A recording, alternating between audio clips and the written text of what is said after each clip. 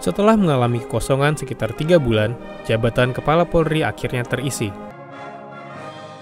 Presiden Joko Widodo Jumat 17 April melantik Jenderal Badrodin Haiti sebagai Kepala Polri menggantikan Kepala Polri sebelumnya, Jenderal Sutarman.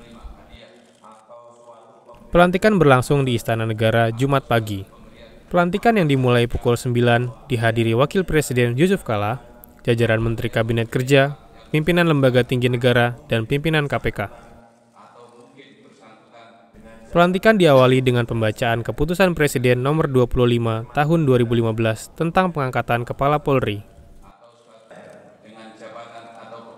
Selanjutnya Badrodin mengucapkan sumpah jabatan yang dipimpin Presiden Jokowi. Wartawan Kompas, Wisnu Widiantoro melaporkan dari Jakarta.